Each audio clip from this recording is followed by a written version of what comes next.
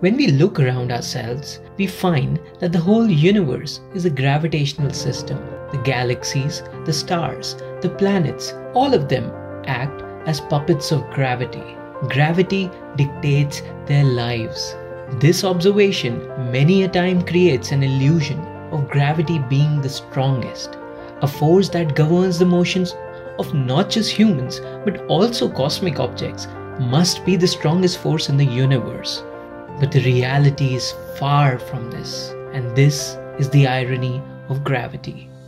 In physics, we have come to understand the existence of four forces, and gravity is in fact the weakest of them all. There are two nuclear forces, strong and weak. There is the electromagnetic force, and then there is gravity.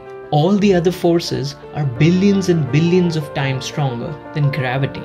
But then, how does gravity delude us all? The answer is simple but profound. Unlike the other three forces, gravity acts on every mass. It does not differentiate. It does not choose its actors but welcomes them all, and thus gravity surpasses all other forces and defines the universe.